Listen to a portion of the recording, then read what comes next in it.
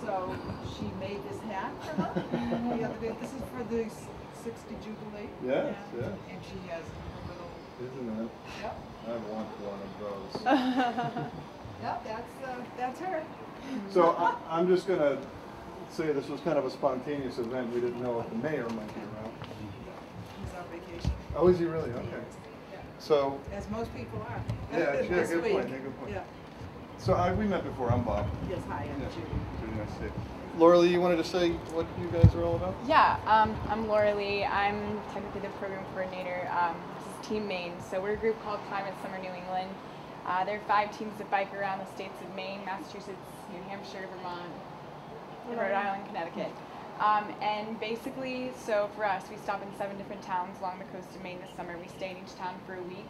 Um, we work with different community leaders, organizers, organizations, individuals, whoever we can get a hold of um, who's working for sustainability. And we try and just kind of highlight and support the work that they're doing um, to further this movement towards a freedom, free from, fo- mm, well, lots of F's, a freedom away from fossil Oh.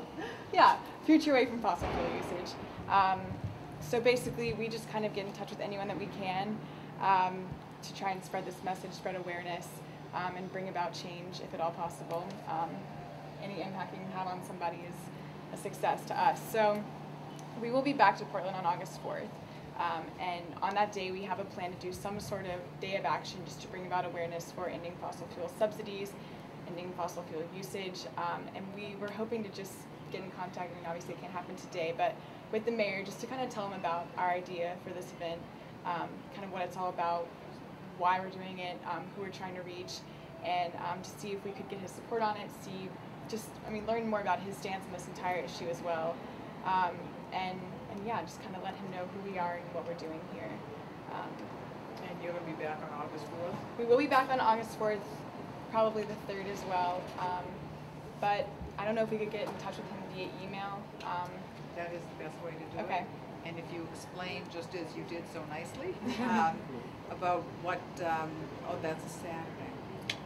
It is a Saturday. Yeah, okay. Um, anyway, if you explain to him, um, again, eloquently, like you did, um, I'll give you his email address, his Okay. card, Okay. and uh, he will absolutely talk with you, or maybe get you in touch with other people in the city Great. who are doing that. We do have uh, other people doing sustainability person, so takes care of all different kinds of things, and we'll make sure that uh, that you can get in touch with him. Thank okay? you. Thank you.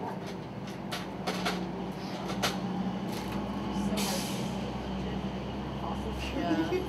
Like a alliteration. Yeah. This is his email address.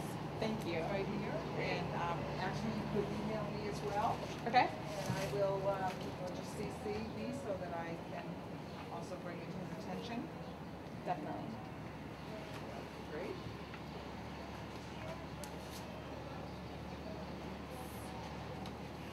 All right. Well, thank you for listening. Oh, you're very welcome, and just enjoy, pra- practice, practice, Yeah. practice. Biking, and, no, you did great, um, and just enjoy your travels and seeing different places, that's wonderful. Thank you very much. Enjoy.